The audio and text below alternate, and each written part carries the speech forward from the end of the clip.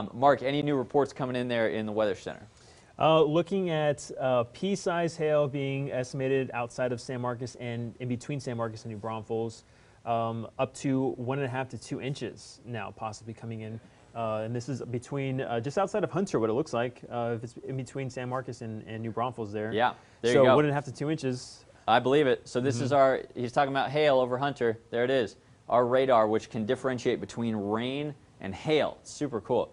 Uh, showing ping pong ball size hail, which is not cool uh, if you're over I-35 or in the Hunter area. And I'll animate this. Uh, remind folks, uh, Mark, if you could, look at this. It's coming right towards San Marcos. So what do we have to do as far as hail goes? Well, we still have a couple minutes here in San Marcos up toward Kyle.